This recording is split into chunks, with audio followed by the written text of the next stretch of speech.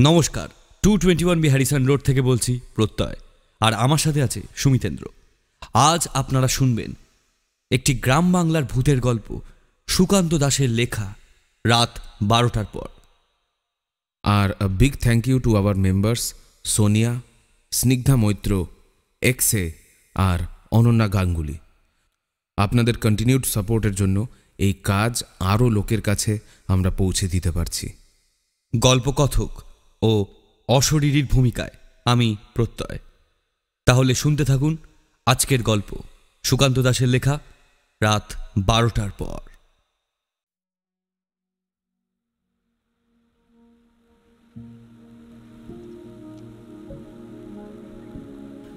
ফাঁকা রাস্তা দিয়ে বাইক নিয়ে আমি বাড়ি ফিরছি। আসলে আমি গিয়েছিলাম জিরাটের দিকে, আমারই এক বন্ধুর বাড়িতে।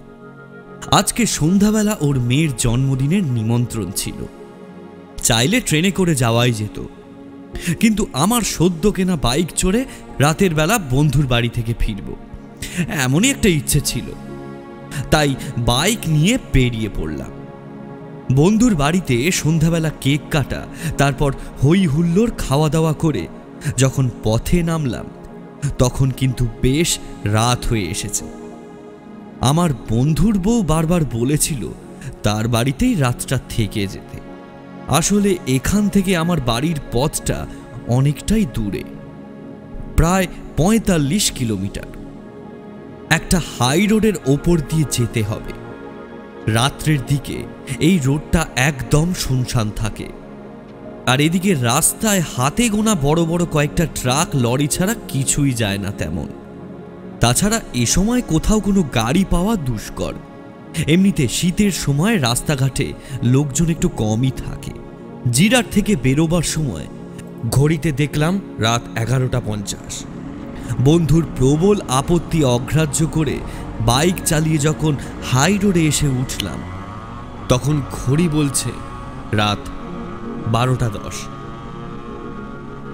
এই হাই রোড ধরে ঘন্টাখানেক চললে বাড়িতে গিয়ে পড়ব। তবে শেষে হাই রোড থেকে ছোট্ট গলিপথে মিনিট দশেক ভেতরে ঢুকতে হবে। গায়ে ফুলাতা শার্টের ওপর একটা পুলোভার চড়ানো ছিল। দু হাতে গ্লাভস নেই, মাথার উপর একটা মাংকি ক্যাপ চোখে একটা অল্প পাওয়ারের চশমা। সত্যি কথা বলতে গেলে চোখ আর নাক ছাড়া বাকি সমস্ত কিছুই ঠান্ডার হাত থেকে আড়ালে রাখা ছিল, যাতে এই শীতে রাতে বাইক চালাতে গিয়ে ঠান্ডাটা না লাগে। সোজা এক মনে বাইক চালিয়ে এগিয়ে যাচ্ছিলাম বাড়ির দিকে। মাঝে মাঝে উল্টো দিকে আসা বড় বড় লরিগুলো শোঁ শোঁ শব্দে পাশ থেকে বেরিয়ে যাচ্ছিল। আমি রাস্তার এক পাশ ধরেই গাড়ি চালাচ্ছিলাম। পেছন থেকে আসা গাড়িগুলোকে মাঝে মধ্যে একটু বেশি সাইড দিতে হচ্ছে। নইলে মনে হচ্ছিল একটু সুযোগ পেলেই তারা আমার গায়ের ওপর উঠে পড়বে। আমিও তাদের সেই সুযোগ দিতে চাই না। তাই একদম রাস্তার ধার ঘেঁষে এগিয়ে যাচ্ছিলাম। বেশ কিছুক্ষণ এইভাবে যাচ্ছি। প্রথম দিকটায় হাই রোডের আশেপাশের জনবসতি থাকলেও খানিকটা যাওয়ার পরেই শুরু হলো দুপাশে ফাঁকা ধানের জমি, এমনিতেই শীতের সময়। আর তার উপর চারপাশে অল্প অল্প কুয়াশা পড়তে শুরু করেছে। ঠান্ডা এখনও জাঁকিয়ে পড়েনি। তবে যেটুকু পড়েছে, তাতে এই রাতের বেলা শরীর কাঁপিয়ে দেওয়ার জন্য যথেষ্ট। কোনো রকমে মনে মনে একটা গান গুনগুন করতে করতে গাড়িটা নিয়ে এগিয়ে চলেছিলাম। একটু আগে যে লরিটা আমার পাশ দিয়ে গেছে তারপরে প্রায় মিনিট পাঁচেক হয়ে গেছে কোনো কিছুরই, আর এই রাস্তা দিয়ে যায়নি মনে মনে ব্যাপারটা হিসেব করছিলাম তাছাড়া আরেকটা কথাও ভাবছিলাম। কাল সকালে দোকান খোলার কথা। আমার একটা ছোট্ট দোকান রয়েছে। স্টেশনারি দোকান বলা যেতে পারে। তাছাড়া এমন কোনো জিনিস নেই যেটা সেখানে পাওয়া যায় না। ছোটদের খেলার জিনিসপত্র থেকে শুরু করে খাতা, পেন, পেন্সিল, এমনকি চকলেট থেকে শুরু করে ছোট ছোট গিফট আইটেম পর্যন্ত। এর মধ্যে একদিন আবার কলকাতায় যেতে হবে। বেশ কিছু জিনিসপত্র নিয়ে আসতে হবে ওখানে গিয়ে। রোজ নামচারে এইসব চিন্তাই মধ্যবিত্ত মাথায় সাধারণত বেশি ঠাঁই পায়। একটু অন্য মনুষ্ক হয়ে পড়েছিলাম। রাস্তার দিকে ধ্যান ফিরতে হঠাৎ করে মনে হলো, পাশের মাঠের ধানের গাছগুলোর ভেতর থেকে বেরিয়ে আসছে একটা কালো রঙের কি জানে। রাস্তার উপরে উঠে আসছে যে, জিনিসটা হঠাৎ করে আমার চাকার সামনে এসে পড়তে আমি থতমত খেয়ে ব্রেক কষলাম। চট করে ওভাবে ব্রেক কষলে একটা প্রবল ঝাঁকুনিতে দুর্ঘটনা ঘটে যাওয়ার সম্ভাবনা থাকে। তাই আমি পুরোপুরি ব্রেকটা না কষে সামান্য আলগা কষেছিলাম, আর তাতেই গাড়ির চাকা রুদ্ধ হলো। তবে কালো রঙের যে জিনিসটা দেখলাম, মনে হলো সেটা কিন্তু আর দাঁড়াল না। এক দৌড়ে ওপারে অন্ধকারের ক্ষেতের মধ্যে ঢুকে গেল। এভাবেই রাতের বেলা মাঝে মাঝে এই হাই রোডে অ্যাক্সিডেন্ট হয়ে যায়। আমার হেডলাইটটা ভাগ্যিস নিচে করা ছিল। তাই জিনিসটা চোখে পড়েছিল। কিন্তু ওই এক মুহূর্তর জন্য হেডলাইটের হলদে আলোয় জিনিসটা দেখে মনে হয়েছিল একটা কালো রঙের বেড়াল। আর তার দুটো উজ্জ্বল চোখ কেমন যেন লাল রঙের। হেডলাইটের আলো বিড়ালের চোখে গিয়ে পড়লে সেটা হলদে দেখাতে পারে। কিন্তু লাল হবে কেন? ব্যাপারটা আমি ঠিক দেখেছি। ভুল হবার মতো নয়। ততক্ষণে একবার পেছনে দেখে নিয়ে একপাশে গাড়িটা দাঁড় করালাম। হঠাৎ করে ব্যাপারটা ঘটে যাওয়ার জন্য একটু অপ্রস্তুত হয়ে পড়েছিলাম। তাছাড়া গাড়িটা আমি সদ্য কিনেছি। মোটরসাইকেল চালানোর অভিজ্ঞতা অনেক রয়েছে, তবে আমার এই গাড়িটা নতুন। তাই গাড়িটার গায়ে একটা দাগ পড়লে বুকের ভেতর কেমন যেন ছ্যাত করে উঠল। আধো অন্ধকারে, চাঁদের আলোয় আমার একটু পাশেই দাঁড়িয়ে থাকা নতুন কালো রঙের একর শিশির জাপানি মোটরসাইকেলটা যেন চকচক করে উঠল। মুহূর্তের মধ্যে বিহলতা কাটিয়ে তাড়াতাড়ি গাড়িতে উঠে আবার স্টার্ট দিলাম। হলদে হেডলাইটটা জ্বলে উঠল আর সেই আলোতেই আমার চোখে পড়ল, আমার থেকে প্রায় পঞ্চাশ হাত দূরে পথের পাশে কি যেন একটা নড়ছে। আমি আস্তে আস্তে যত সামনের দিকে এগিয়ে যেতে লাগলাম, তত ভালোভাবে দেখতে পেলাম সেই বস্তুটাকে। আর অন্য কিছু নয়, একটা মানুষ।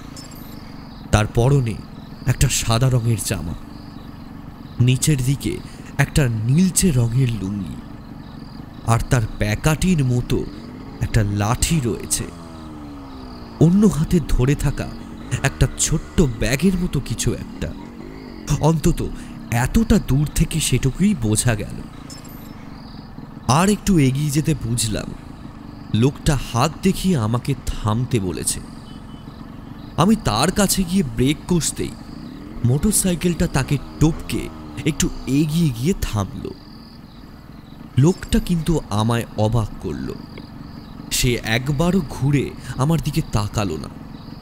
বরং আগের মতোই সামনের দিকে তাকিয়ে হাত দেখাতে লাগল। যেন মনে হলো, লোকটা এই আধো অন্ধকারের মধ্যে আমায় একদম দেখতেই পায়নি। কিন্তু সেটাই বা কি করে হয়? আমার গাড়িতে হেডলাইটটা চলছে। তাছাড়া তার একদম সামনে দিয়ে তার দিকেই তাকাতে তাকাতে এলাম। অথচ সে আমায় দেখতে পাবে না। এমনটা তো হয় না। লোকটা কিন্তু তখনও পেছনের দিকে ঘুরে তাকায়নি। আমি বাধ্য হয়ে একবার ইঞ্জিনটা বন্ধ করে পেছনের দিকে ঘুরে বললাম, কি ব্যাপার, আপনি কোনো সমস্যায় পড়েছেন নাকি? এভাবে হাইরোডের কাছে হাত দেখালে কোনো গাড়ি দাঁড়াবে না কিন্তু। লোকটা কিন্তু আমার কথাতেও পেছনের দিকে ঘুরে তাকালো না। আমি ভাবলাম লোকটা কালা নাকি? শুনতে পায় না। আমি আবার বাধ্য হয়ে বললাম, আরে দাদা, কি ব্যাপার বলুন তো? আপনি চাইছেনটা কি? এভাবে পথের মাঝে হাত দেখাচ্ছেন কেন? আশ্চর্য! লোকটা কিন্তু তখনও আগের মতোই সামনের দিকে তাকিয়ে হাত দেখিয়ে চলেছে।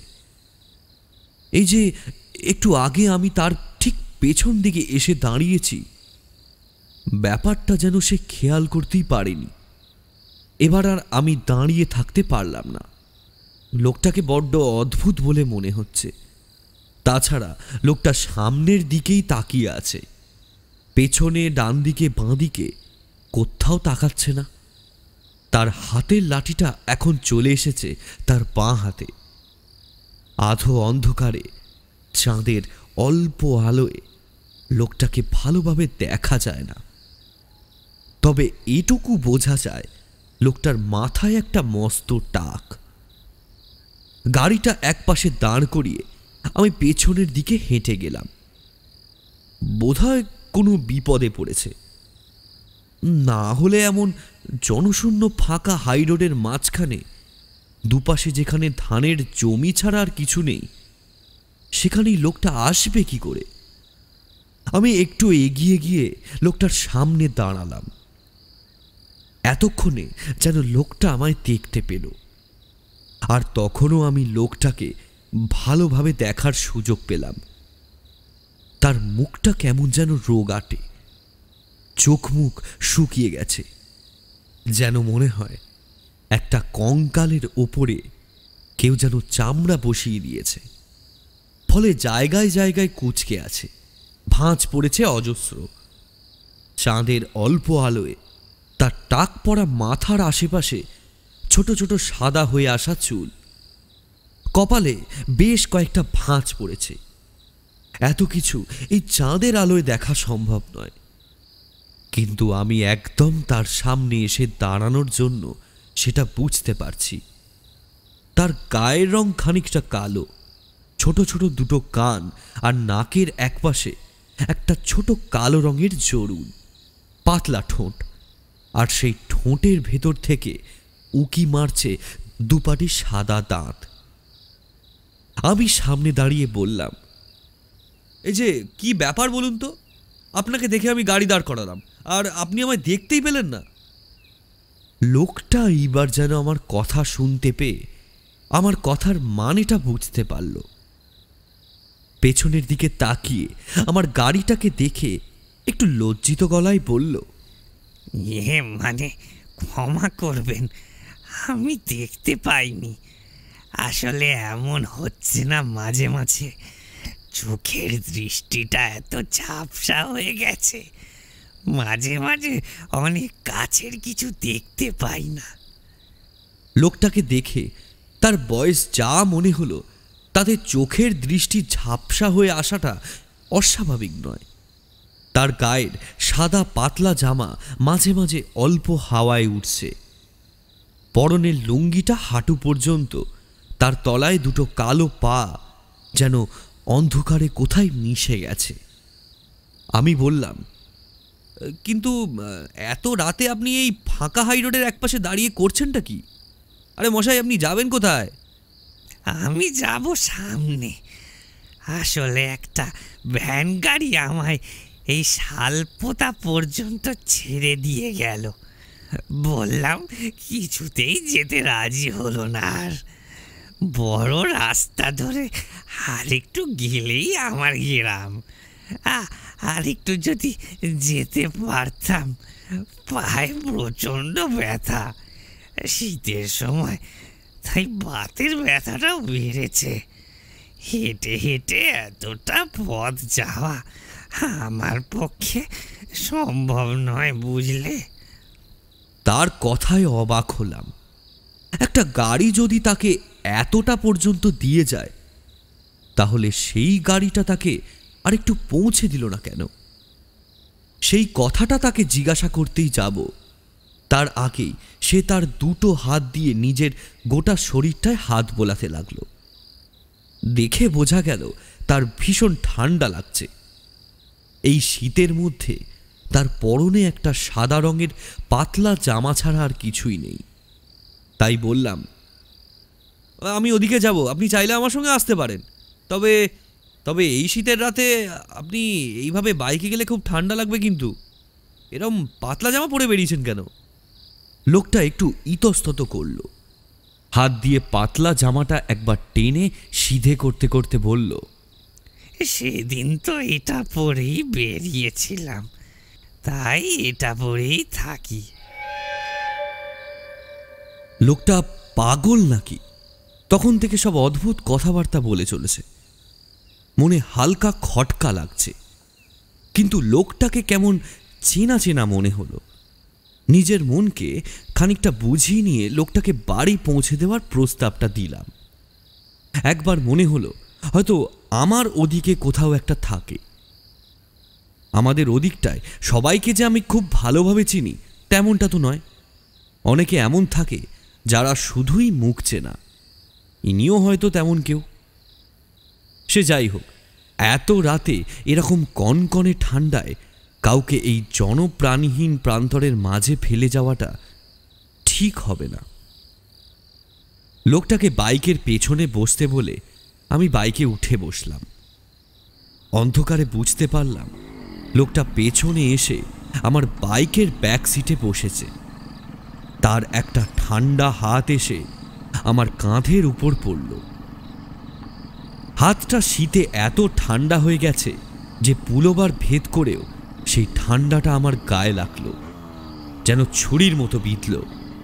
আমি হালকা কেঁপে উঠলাম, বললাম আপনার হাত তো ভীষণ ঠান্ডা হয়ে গেছে দেখছি। লোকটা আমার কথায় সামান্য হাসলো তারপর বলল সে তো হবেই কি করব? এতদিন ধরে তো দাঁড়িয়ে রয়েছি তো। লোকটা কি বলল তা আমি ভালোভাবে শুনতে পেলাম না কারণ ততক্ষণে আমি স্টার্ট দিয়ে দিয়েছি।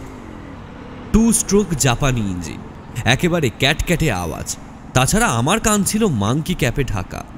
ফলে কথাটা পরিষ্কার কানে এলো না। মাংকি ক্যাপ সহজে আমি পড়ি না। তবে শীতকালে গাড়ি চালানোর সময় এটা কিন্তু বেশ ভালো। সহজে কানে ঠান্ডা বাতাস লাগে না। গাড়িটা চলতে চলতে বেশ কিছুটা রাস্তায় একভাবেই এগিয়ে এলাম। একবার গাড়ি স্লো করে লোকটাকে তার ঠিকানা জানতে চাইলাম। তখন লোকটা স্রেফ আঙুল তুলে সামনের দিকে দেখিয়ে দিল। আমি আবার সামনের অন্ধকার রাস্তার দিকে তাকিয়ে অ্যাক্সেলারেটরে চাপ দিলাম। চাঁদের আলোটা যেন এবার খানিকটা উজ্জ্বল হয়ে আসতে লাগল। পেছন থেকে কোনো গাড়ি আসছে কি না সেটা দেখার জন্য লুকিং গ্লাসের দিকে তাকালাম। তাকাতেই হঠাৎ যেন গোটা শরীর বরফের মতো ঠান্ডা হয়ে গেল। এতক্ষণ যে তীক্ষ্ণ ঠান্ডার অনুভূতিটা আমি হাতের আঙুলগুলোতে অনুভব করতে পারছিলাম সেই ঠান্ডাটা যেন এবারে মাথা থেকে পা পর্যন্ত একবার শিরশির করে কাঁপিয়ে দিয়ে গেল। দেখতে পেলাম, আমার পেছনে বসে থাকা সে লোকটা আর সেখানে নেই। অথচ আমি স্পষ্ট বুঝতে পারছি, আমার ঘাড়ের কাছে লোকটার ঠান্ডা হাত আগের থেকে একটু বেশি চেপে ধরেছে। ভয় পাওয়ার জন্যই বোধহয় গাড়ির ক্লাচে রাখা হাতটা একটু নড়ে উঠেছিল। আমার পেছনের সিট থেকে একটা কণ্ঠস্বর ভেসে এলো। কি হলো? ও ভাবে হাত কাঁপছে কেন আপনার? আমি কিছুক্ষণের জন্য যেন স্তম্ভিত হয়ে পড়েছিলাম।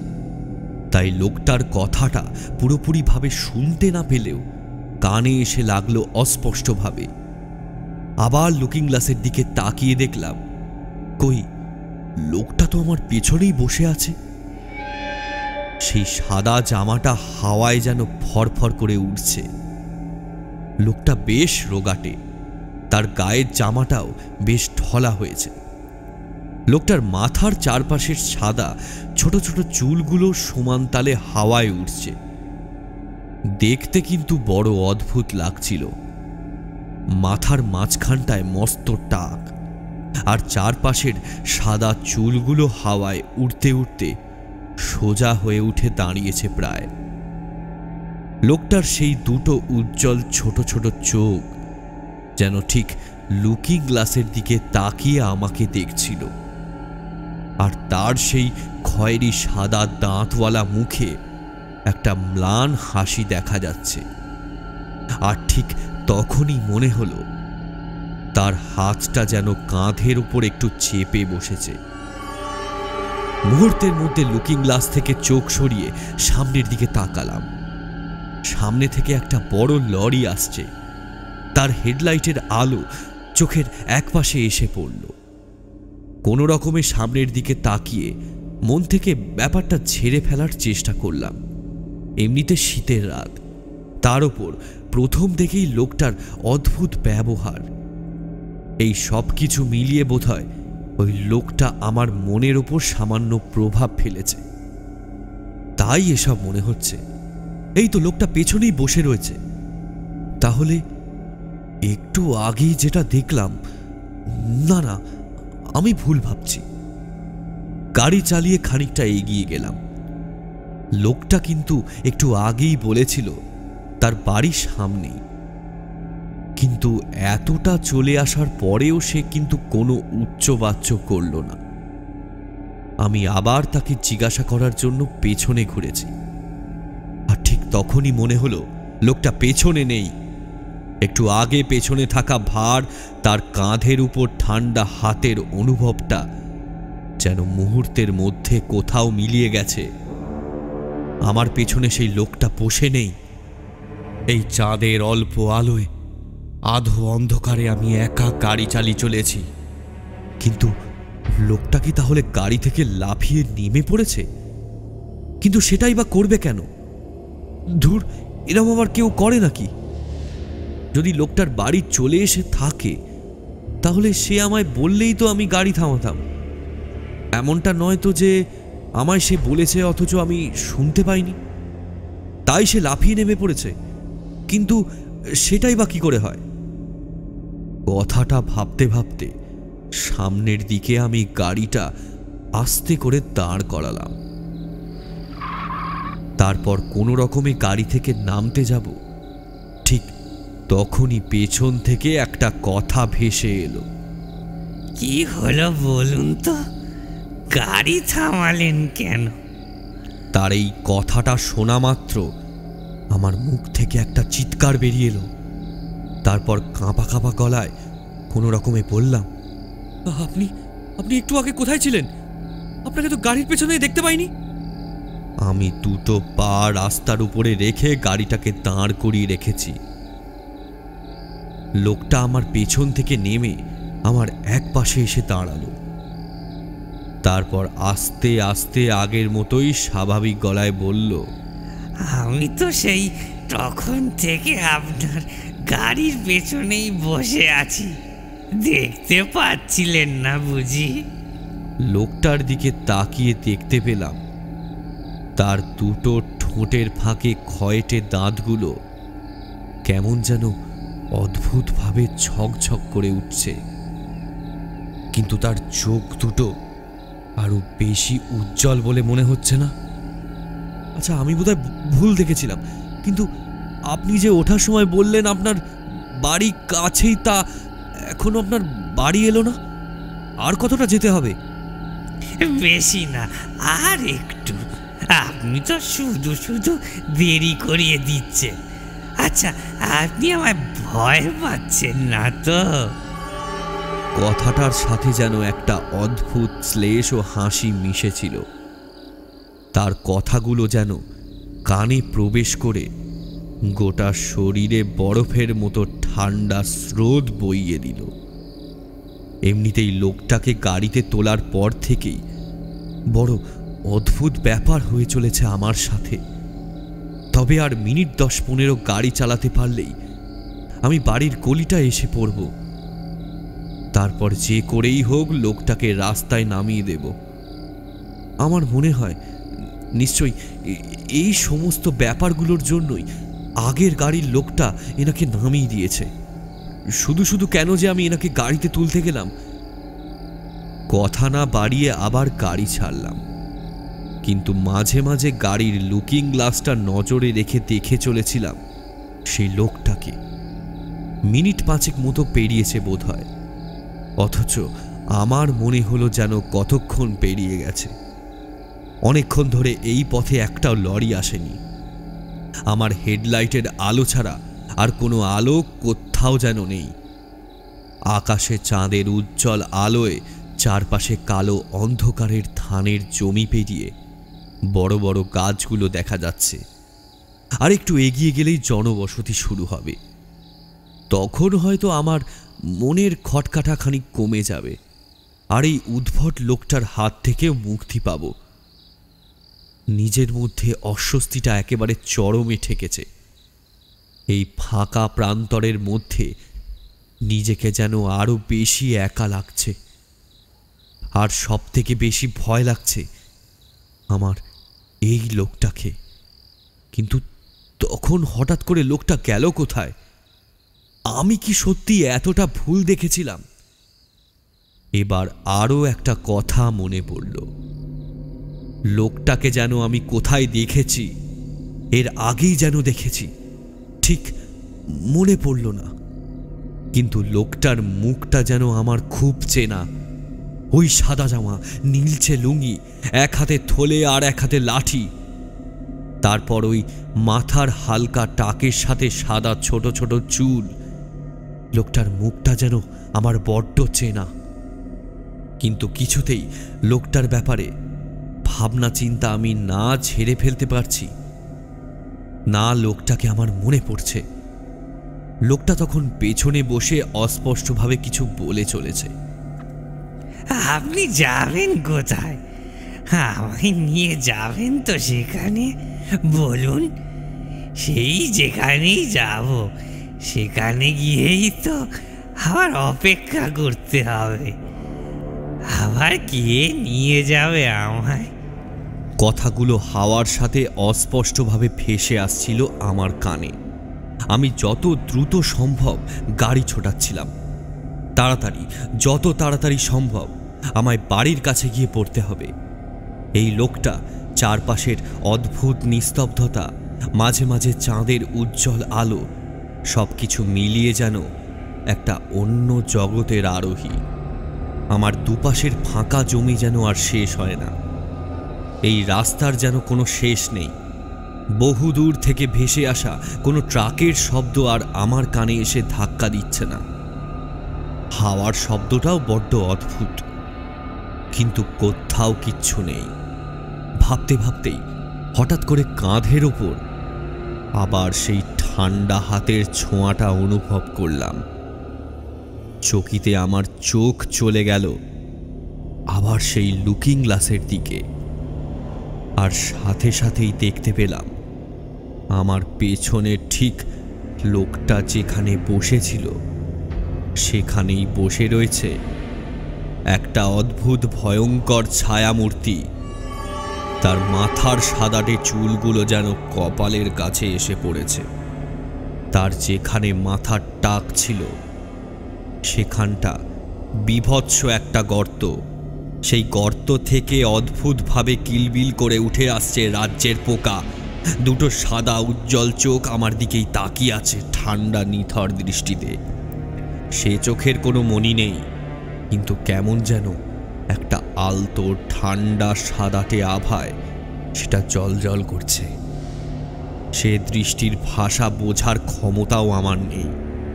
তার ঠোঁট এখন কোথাও যেন হারিয়ে গেছে।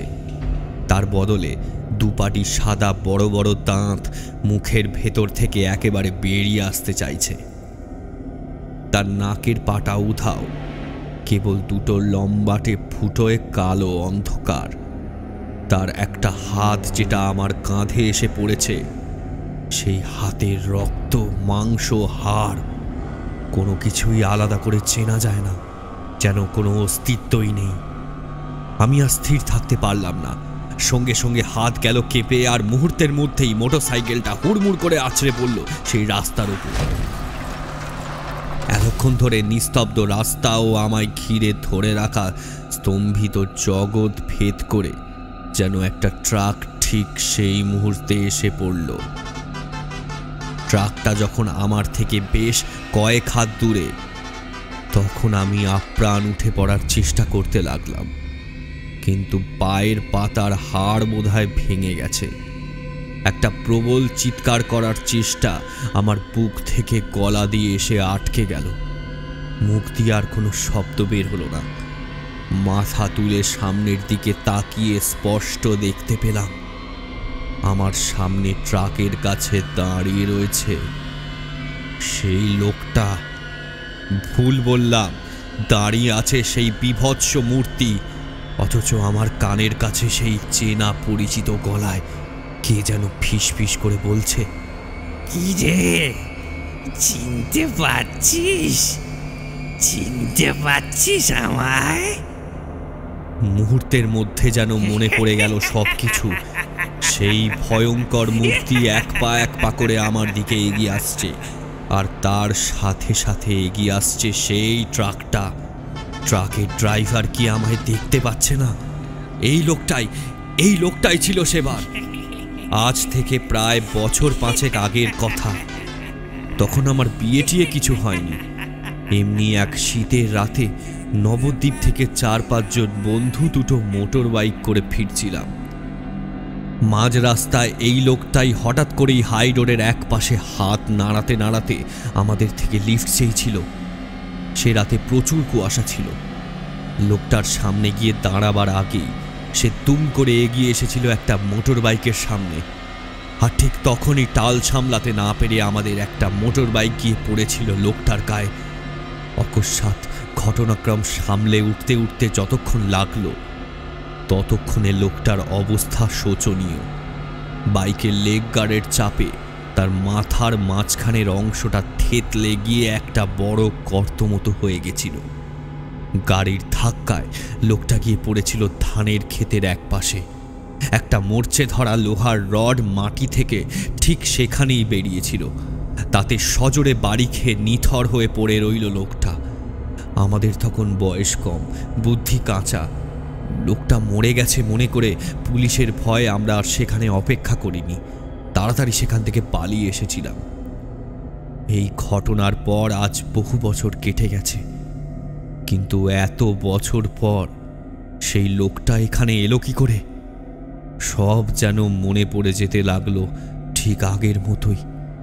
সেদিন তো এমনভাবেই লোকটার সাদা রঙের একটা জামা, নীলচে রঙের একটা লুঙ্গি আর আর হাতে লাঠি পুটলি নিয়ে দাঁড়িয়েছিল পথের পাশে। ঠিক অমনভাবেই হাত দেখিয়ে দাঁড়াতে বলেছিল। আজ যেমনভাবে আমায় হাত দেখাল, ট্রাকটা তখন আরও কাছে এসে পড়েছে। ট্রাকের আলোয় চোখটা ঝলসে গেল, যেন দুটো হাত চোখের সামনে চেপে ধরে চিৎকার করতে গেলাম। কিন্তু গলা থেকে কোনো শব্দ বেরিয়ে এলো না। যখন ট্রাকের চাকাটা আমায় পিষে দিচ্ছে, ঠিক আগের মুহূর্তে শুনতে পেলাম একটা হাসি।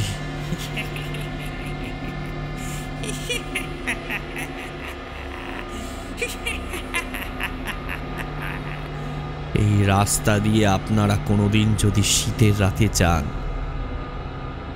তাহলে সাদা জামা আর নীল লুঙ্গি পরার বুড়ো লোকটা হয়তো আর দেখতে পাবেন না। দাঁড়িয়ে থাকবে, পুলোবার চড়ানো, মাংকি ক্যাপ চড়ানো, একটা মধ্যবয়স্ক লোক। ভালো করে মাংকি ক্যাপের ভেতরে দেখবেন। মাথাটা হয়তো থেতলে গিয়ে থাকতে পারে।